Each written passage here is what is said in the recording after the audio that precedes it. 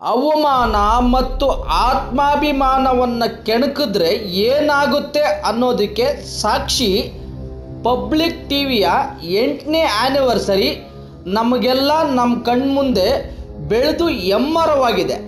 ಈ ಮಾತನ್ನು H R ರಂಗನಾಥ್ರವರು ಐದನೇ ಆ್ಯನಿವರ್ಸರಿ ಪ್ರೋಗ್ರಾಂನಲ್ಲಿನೇ ಭಾವುಕರಾಗಿ ನುಡಿದ ಮಾತುಗಳು. ಆ ಮಾತುಗಳಲ್ಲಿ ಇನ್ನೂ ಕೆಲವು ಆಣಿಮುತ್ತುಗಳು ಇತ್ತು. ಅದು ಏನಂದರೆ, ನನ್ನಲ್ಲಿರೋ ಮರ್ಯಾದೆ ಮತ್ತು ಪ್ರತಿಷ್ಠಿತೆಯನ್ನು ಕೆಣಕಿದ್ರೆ ಏನಾಗುತ್ತೆ ಅಂದರೆ ಪಬ್ಲಿಕ್ ಟಿ ವಿ ಆಗುತ್ತೆ. ಆ ದಿನ ನನ್ನನ್ನು ಅವಮಾನಕ್ಕೆ ಗುರಿ ಮಾಡಿದ್ರೂ ನನ್ನ ತಪ್ಪಿಲ್ಲದೆ ನನ್ನನ್ನು ಕೆಣಕಿದ್ರೂ ನನಗೆ ಅರಿವಿಲ್ಲದೆ ನಿನ್ನಿಂದ ಆಗಲ್ಲ ಅಂತ ಈಯಾಳಿಸಿದ್ರು. ಆದರೆ ನಾನು ಅದನ್ನು ಛಲವಾಗಿ ತಗೊಂಡೆ. ಆದರೆ ಆವತ್ತು ಬಹಳ ಸಂಕಷ್ಟದಲ್ಲಿ ಪ್ರಾರಂಭ ಮಾಡಿದ್ವಿ. ಆದರೆ ಎರಡು ಏಂಜಲ್ಗಳು, ದೇವ್ರ ಥರ ಇಬ್ಬರು ವ್ಯಕ್ತಿಗಳು, ಯಾರೂ ನಂಬದಿದ್ದ ದಿನ ಅದು, ಯಾರೂ ಕೈ ಹಿಡಿಯದಿದ್ದ ದಿನ ಅದು, ನಾಳೆ ಏನು ಅಂತ ಗೊತ್ತಿಲ್ಲ ಅನ್ನೋ ಸ್ಥಿತಿನಲ್ಲಿ ಅವರು ನನ್ನ ಕೈ ಹಿಡಿದು ನನ್ನನ್ನು ಒಂದು ಪ್ರಶ್ನೆ ಕೇಳದೆ ನಿನಗೆ ಯಾಕೆ ದುಡ್ಡು ಕೊಡಬೇಕು ಅಂತ ಒಂದಷ್ಟು ದುಡ್ಡು ಕೊಟ್ಟಿದ್ದು ರಾಕ್ಲೇನ್ ವೆಂಕಟೇಶ್ ಬ್ರದರ್ಸ್ ಮತ್ತು ಮನೋಹರ್. ಫ್ರೆಂಡ್ಸ್, ಮೈಸೂರಿನವರಾದ ಈ ಹುಡುಗ ಚಿಕ್ಕಂದಿನಿಂದಲೂ ಬಹಳ ಚುರುಕು ಸ್ವಭಾವ, ನೇರ ನಡೆಯ ಹಠ ಸ್ವಭಾವದ ಬಾಲ್ಕನಾಗಿದ್ದ. ಆ ವಯಸ್ಸಿನಲ್ಲಿಯೇ ಆತನದ್ದು ನ್ಯಾಯಪರ ನಿಲುವು ಹಾಗೂ ಪ್ರಾಮಾಣಿಕ ವ್ಯಕ್ತಿತ್ವವಾಗಿತ್ತು. ಬೆಂಗಳೂರಿಗೆ ಬಂದು ನೆಲ ಊರಿದ ಈತ ಮುಂದೆ ಸಂಪಾದಕನಾಗಿ ಚೀಫ್ ಎಡಿಟರ್ ಆಗಿ ಹತ್ತಾರು ವರ್ಷಗಳ ಕಾಲ ದುಡಿದ. ತನ್ನ ಈ ಹತ್ತು ವರ್ಷಗಳಲ್ಲಿಯೂ ಸಹ ತನ್ನ ಕೇವಲ ಸಂಬಳವನ್ನು ನೆಚ್ಚಿಕೊಂಡು ಬದುಕಿದ. ಸತ್ಯವಾದಿ ಆಗಿದ್ದ. ಆತನಿಗೆ ತನ್ನ ಆತ್ಮಸಾಕ್ಷಿಗೆ ವಿರುದ್ಧವಾಗಿ ಕೆಲಸ ಮಾಡಬೇಕಾದ ಅನಿವಾರ್ಯ ಇದ್ದಾಗ ಬದುಕು ಹಾಗೂ ಆತ್ಮಸಾಕ್ಷಿ ಇವೆರಡರಲ್ಲಿ ಒಂದನ್ನು ಚಾಯ್ಸ್ ಮಾಡಬೇಕು ಅನಿಸಿದಾಗ ಆತ ಆತ್ಮಸಾಕ್ಷಿಯನ್ನೇ ಚಾಯ್ಸ್ ಆಗಿ ಮಾಡಿದ. ಆತ್ಮಸಾಕ್ಷಿಗೆ ವಿರುದ್ಧವಾಗಿ ಕೆಲಸ ಮಾಡಬೇಕು ಅಂದಾಗ ಆತ ರಿಸೈನ್ ಮಾಡ್ದ. ಅಟ್ಲೀಸ್ಟ್ ಬೇರೆ ಮೀಡಿಯಾದಲ್ಲಿ ಟ್ರೈ ಮಾಡ್ಬೋದಿತ್ತು, ಆದರೆ ಅಲ್ಲಿ ಇದೇ ಪರಿಸ್ಥಿತಿ ಬರ್ಬೋದು ಅನ್ನೋ ಕಾರಣಕ್ಕೆ ಪ್ರಯತ್ನ ಮಾಡಲಿಲ್ಲ. ತಾನೇ ಸ್ವಂತದ್ದು ಒಂದು ಸುದ್ದಿ ಮಾಧ್ಯಮ ತೆರೆದ್ರೆ ಹೇಗೆ? ಆದರೆ ಸುದ್ದಿ ಮಾಧ್ಯಮ ತೆಗೆಯೋದು ಸುಲಭದ ಮಾತಲ್ಲ. ಹಾಗಂತ ಈತ ನಿರ್ಧಾರನ ಬದಲಿಸಲಿಲ್ಲ. ಶತಾಯ ಗತಾಯ ಹೋರಾಟ ಮಾಡಿ ಯಾರೂ ಮಾಡೋಕೆ ಆಗದ ದುಸ್ಸಾಹಸಕ್ಕೆ ಕೈ ಹಾಕಿ ತನ್ನದೇ ಚಾನಲ್ ಒಂದನ್ನು ತೆರೆದ.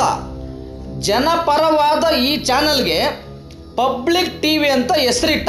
ಆ one man army ಯಾರಂದರೆ H R Ranganath alias all right Ranganna. Hebbale Ramakrishnaiah Ranganath, ಇವರ ಪೂರ್ಣ ಹೆಸರು. ರಾಮಕೃಷ್ಣಯ್ಯ ಹಾಗೂ ಲೀಲಾ ಎಂಬುವವರಿಗೆ ಇವರು ಆರು ಮಕ್ಕಳಲ್ಲಿ ಒಬ್ಬರಾಗಿ ಸಾವಿರದ ಒಂಬೈನೂರ ಅರವತ್ತಾರರ ಮೇ ಹನ್ನೊಂದರಂದು ಜನಿಸ್ತಾರೆ. ಆಗ ಮೈಸೂರಿನ ರೈಲ್ವೆ ಕ್ವಾರ್ಟರ್ಸ್ನಲ್ಲಿ ಇವರು ಇರ್ತಾರೆ.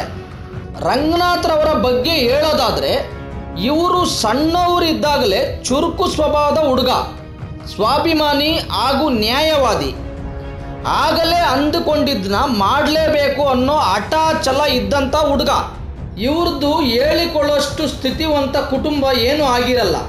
ತಂದೆಯವರ ಆದಾಯ ಮನೆಯಲ್ಲಿ ಇರೋರ ಹೊಟ್ಟೆ ತುಂಬಿಸ್ಲಿಕ್ಕೆ ಸಾಲ್ತಾ ಇರಲ್ಲ. ಈ ಕಷ್ಟದಲ್ಲಿನೇ ಬೆಳೆದು ತಕ್ಕಮಟ್ಟಿಗೆ ವಿದ್ಯಾಭ್ಯಾಸ ಮಾಡಿದ್ದು ಮೈಸೂರಿನಲ್ಲೇ. ಭಾರತೀ ಸ್ತ್ರೀ ಸಾಮಾನ್ಯ ಎಂಬೋ ಶಾಲೆಯಲ್ಲಿ ಇವರು ಎಜುಕೇಷನ್ ಮಾಡ್ತಾರೆ. ಇವರು ಎಂಟನೇ ಕ್ಲಾಸ್ನಲ್ಲಿ ಇದ್ದಾಗಲೇ ಇವರು ಫ್ರೆಂಡ್ಸ್ ಜೊತೆ ಸೇರಿ ಒಂದು ಆರ್ಕೆಸ್ಟ್ರಾ ಟ್ರೂಪ್ನ ಕಟ್ಟಿ ಸಭೆ ಸಮಾರಂಭದಲ್ಲಿ ಭಾವಗೀತೆಗಳನ್ನು ಆಡ್ತಾ ಇದ್ರು. ಇದಕ್ಕೆ ಅವರು ಟೀಚರ್ ಆದ ವಸುಮತಿ ಅನ್ನೋರು ಸಾಥ್ ಕೊಟ್ಟಿದ್ರು. ಕಾಲೇಜ್ ಮುಗಿಯೋ ಅಷ್ಟೊತ್ತಿಗೆ ಸಮಾಜದಲ್ಲಿ ನಡೀತಿದ್ದ ಅವ್ಯವಸ್ಥೆ ವಿರುದ್ಧ ಮಾತಾಡೋದಕ್ಕೆ ಗಟ್ಟಿ ಧ್ವನಿ ಆಗಿದ್ರು. ಇದಕ್ಕೆ ಅವರು ಆರಿಸಿದ್ದು ಜರ್ನಲಿಸಂ ಕೋರ್ಸ್ನ ಇದನ್ನ ಪೂರ್ತಿ ಮಾಡಿ ಕೆಲಸಕ್ಕಾಗಿ ಬೆಂಗಳೂರಿಗೆ ಬರ್ತಾರೆ. ಕನ್ನಡ ಪ್ರಭದಲ್ಲಿ ರಂಗನಾಥ್ ರವರು ಕ್ರೈಮ್ ರಿಪೋರ್ಟರ್ ಆಗಿ ಕೆಲಸಕ್ಕೆ ಸೇರ್ತಾರೆ. ಆಗ ಪರಿಚಯ ಆಗಿದ್ದೆ ವಿಶ್ವೇಶ್ವರ್ ಭಟ್. ಈಗ ಇವರು ವಿಶ್ವವಾಣಿ ಪತ್ರಿಕೆಯಲ್ಲಿ ಚೀಫ್ ಆಗಿದ್ದಾರೆ. ಇವರಿಬ್ಬರೂ ಕೂಡ ಒಂದೇ ಸಮಯದಲ್ಲಿ ಆಗ ಕನ್ನಡ ಪ್ರಭಾದಲ್ಲಿ ವರದಿಗಾರರಾಗಿ ಸಬ್ ಎಡಿಟರ್ ಆಗಿ, ಕ್ರಮವಾಗಿ ಸೆಲೆಕ್ಟ್ ಆದವರು ವಿಶ್ವೇಶ್ವರ್ ಭಟ್ರ್ ಪ್ರಕಾರ ಹೇಳೋದಾದ್ರೆ ರಂಗನಾಥ್ರವರು ನೇರ ಹಾಗೂ ನಿಷ್ಠೂರ ವರದಿಗಳಿಗೆ ಫೇಮಸ್ಸು ರಿಸೈನ್ ಲೆಟರ್ನ ಪಾಕೆಟ್ನಲ್ಲೇ ಇಟ್ಕೊಂಡು ಕೆಲಸಕ್ಕೆ ಬರೋರು. ಇಲ್ಲಿ ಸೈ ಅನ್ಸ್ಕೊಂಡ ರಂಗಣ್ಣ ಮುಂದೆ ಬಂದದ್ದು ಏಷ್ಯನೆಟ್ ಸುವರ್ಣ ಚಾನಲ್ಗೆ. ಇಲ್ಲಿ ಕೂಡ ಇವರು ಚೀಫ್ ಎಡಿಟರ್ ಆಗಿ ಕೆಲಸ ಮಾಡ್ತಾರೆ. ಈ ಸಮಯದಲ್ಲಿ ಅವರು ಪಟ್ಟ ಕಷ್ಟಗಳು, ಎದುರಿಸಿದ ನಂಬಿಕೆ ದ್ರೋಹಗಳು ಧರ್ಮ ಸಂಕಟಗಳ ಕತೆ ದೊಡ್ಡದಿದೆ ಇವೆಲ್ಲವುಗಳ ಮೂಲಕ ಈತ ಕುಗ್ಲಿಲ್ಲ. ಬದಲಿಗೆ ಇನ್ನಷ್ಟು ಬಲಿಷ್ಠಗೊಂಡ್ರು. ಅನೇಕ ರಾಜಕೀಯ ಹಾಗೂ ಸ್ವಾರ್ಥತೆಯ ಒತ್ತಡಗಳಿಂದ ಇಲ್ಲಿಂದ ಹೊರಬಂದ್ರು ಈ ವಾಮನ ಯೋಗಿ ಎಚ್ ಆರ್ ರಂಗಣ್ಣನವರು.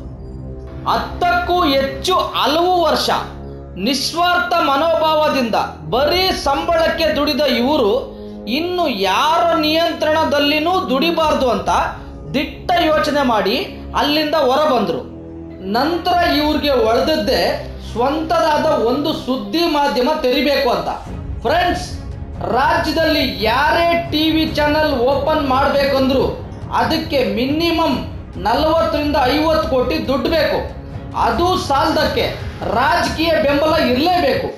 ಬರೀ ಸಂಬಳನ ನಂಬಿ ಜೀವನ ಮಾಡ್ತಿದ್ದ ರಂಗಣ್ಣನಿಗೆ ಇನ್ನು ಭ್ರಷ್ಟ ರಾಜಕೀಯ ಬೆಂಬಲವನ್ನ ಯಾವತ್ತೂ ಬಯಸದ ರಂಗಣ್ಣ ಟಿವಿ ಚಾನೆಲ್ನ ಓಪನ್ ಮಾಡೋದು ಸಾಧ್ಯದ ಮಾತಲ್ಲ. ಆದರೆ ರಂಗಣ್ಣ ಧೃತಿಗೆಡಲಿಲ್ಲ. ಇವರಿಗೆ ಅಪಾರವಾದ ಬೆಂಬಲ ಹಾಗೂ ಸ್ನೇಹಿತರ ಬಳಗವಿತ್ತು. ಇದೆಲ್ಲರ ಆಶೀರ್ವಾದದೊಂದಿಗೆ ಕಡಿಮೆ ವೆಚ್ಚದಲ್ಲಿ ಯಾವುದೇ ಪ್ರಮೋಷನ್ ಫೀಸ್ ಇಲ್ಲದೆ ಇನ್ವೆಸ್ಟ್ಮೆಂಟ್ ಮಾಡಿದವರು ರಾಕ್ಲೈನ್ ವೆಂಕಟೇಶ್ ಮತ್ತು ಮನೋಹರ್ ರವರು. ಇವರಿಬ್ಬರ ಸಹಾಯದಿಂದ ಆರು ಏಳು ಕೋಟಿ ಒಳಗೆ ತನ್ನ ಪಬ್ಲಿಕ್ ಟಿವಿನ ಲಾಂಚ್ ಮಾಡಿದ್ರು.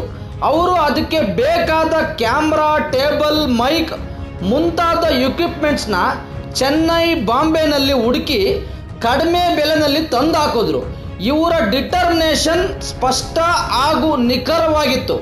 ಇವರ ಚಾನಲ್ಗೆ ಬಂದು ಜನಪರ ಅನ್ನೋ ಕಾರಣಕ್ಕೆ ಇವರೇ ಅದಕ್ಕೆ ಪಬ್ಲಿಕ್ ಟಿವಿ ಅಂತ ಹೆಸರಿಟ್ರು. ಏಯ್ಟಿ ಪರ್ಸೆಂಟ್ ಅಷ್ಟು ವೇಕೆನ್ಸಿನ ಫ್ರೆಶರ್ಸ್ಗೆ ಕೊಡ್ತಾರೆ.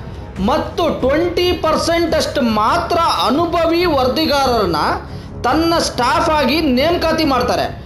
ಇವರು ನಿರೀಕ್ಷೆ ಮಾಡಿದ್ದು ಅತ್ಯಂತ ನೇರ ಹಾಗೂ ಚುರುಕಾದ ಸುದ್ದಿ ಪ್ರಸಾರ. ಯಂಗ್ ಗ್ರಾಜ್ಯುಯೇಟ್ಸ್ ಇದನ್ನು ಖಂಡಿತವಾಗಿ ಮಾಡ್ತಾರೆ ಅಂತ ಅವರು ಮೊದಲೇ ನಿರ್ಧಾರ ಮಾಡಿದ್ರು. ಎರಡು ಸಾವಿರದ ಹನ್ನೆರಡರ ಜನವರಿನಲ್ಲಿ ಮೊದಲ ಬಾರಿಗೆ ಪತ್ರಿಕೋದ್ಯಮ ಕ್ಷೇತ್ರದಲ್ಲಿ ಯಾರೂ ಊಹಿಸದ ಪವಾಡ ನಡೆದೋಯ್ತು. ರಂಗಣ್ಣ ನೇತೃತ್ವದಲ್ಲಿ ತಮ್ಮ ಕೂಸಾದ ಪಬ್ಲಿಕ್ ಟಿವಿ ಲಾಂಚ್ ಆಯಿತು. ರಾಜ್ಯದ ಮೂಲೆ ಮೂಲೆಗಳಿಂದ ಎಚ್ ಆರ್ ರಂಗನಾಥ್ರ ಈ ಪಾರದರ್ಶಕ ಪ್ರಯತ್ನಕ್ಕೆ ಭಾರೀ ಜನಮೆಚ್ಚುಗೆ ಕೇಳಿಬಂದಿತ್ತು. ಒಂದು ನಯ ಪೈಸ ಅಷ್ಟು ಅಕ್ರಮ ಹಣದಿಂದಾಗಲಿ ಅಥವಾ ಭ್ರಷ್ಟದ ಆದಾಯದಿಂದಾಗಲಿ ಚಾನಲ್ ತೆರೆದಿಲ್ಲ. ತಮ್ಮ ಚಾನಲ್ನ ಹಣಕಾಸಿನ ದಾಖಲೆಯನ್ನು ತಾವೇ ಸ್ವಂತ ಅದೇ ವರ್ಷ ಮಾಧ್ಯಮದ ಮುಂದೆ ಇಟ್ಟು ಈ ಚಾನಲ್ನ ಯಾವ ಅನ್ಯಾಯದ ಹಣದಿಂದಲೂ ಶುರು ಮಾಡಿಲ್ಲ ಅಂತ ಸಾಬೀತು ಮಾಡ್ತಾರೆ. ಜಗತ್ತು ಭ್ರಷ್ಟತೆಯಿಂದ ಎಷ್ಟೇ ಕೊಳೆತು ನಾರಬಹುದು ಆದರೆ ನಿನ್ನಲ್ಲಿ ಪ್ರಾಮಾಣಿಕತೆ ಬಲವಾಗಿದ್ದರೆ ಜಗತ್ತೇ ನಿನ್ನನ್ನು ಅಲಗಾಡಿಸ್ಲಿಕ್ಕೆ ಸಾಧ್ಯನೇ ಇಲ್ಲ. ಅನ್ನೋದಕ್ಕೆ ಉದಾಹರಣೆ ಎಚ್ ಆರ್ ರಂಗಣ್ಣನವರು. ಈ ಜನವರಿ ಎರಡು ಸಾವಿರದ ಇಪ್ಪತ್ತೊಂದಕ್ಕೆ ಪಬ್ಲಿಕ್ ಟಿ ವಿಗೆ ಎಂಟು ವರ್ಷ ತುಂಬಿದೆ. ದಿನ ರಾತ್ರಿ ಒಂಬತ್ತಕ್ಕೆ ಬಿಗ್ ಬುಲೆಟಿನ್ ಮೂಲಕ ಸಾಮಾನ್ಯ ನಾಗರಿಕನಂತೆ ಬರೀ ಒಂದು ಹಾಫ್ ಶರ್ಟ್ ಹಾಕ್ಕೊಂಡು ಸೂಟು ಬೂಟು ಇಲ್ಲದೇ ಹಾಸ್ಯ ಚಟಾಕಿಯಿಂದನೇ ಸುದ್ದಿನ ಈ ರೀತಿನೂ ಸಾಮಾನ್ಯ ಆಡು ಭಾಷೆನಲ್ಲಿ ತಿಳಿಸ್ಬೋದು ಅಂತ ತೋರಿಸ್ಕೊಟ್ಟದ್ದೇ ಈ ಮಹಾನ್ ಸಾಧಕ ಎಚ್ ಆರ್ ರಂಗನಾಥ್.